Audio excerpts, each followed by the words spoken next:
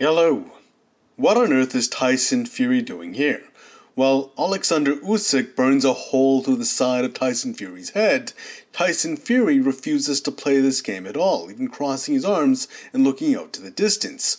This is something Jon Jones does as well. He refuses to look his opponents in the eyes.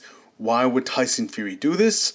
Maybe he does feel a bit more intensity coming for Usyk and he doesn't want to risk playing that game. Maybe it's a bit of nervous energy and he doesn't feel like he's as confident for the stare down as Usyk, or maybe he just doesn't care. He just does not, he's belittling his opponent. He sees that he's so much greater than Usyk that it just doesn't matter. He doesn't want to, he doesn't want to entertain being on the same level as him, playing the same game as him. He's just that much above him. I don't know if that's true.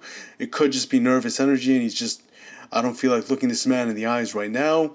But Usyk, look at this man. He's so confident, so confident, burning a hole through the side of Tyson Fury's head.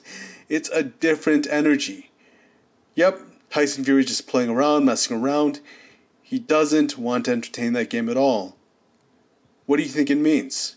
I think it means Usyk is just more confident and Tyson Fury doesn't want to play that game.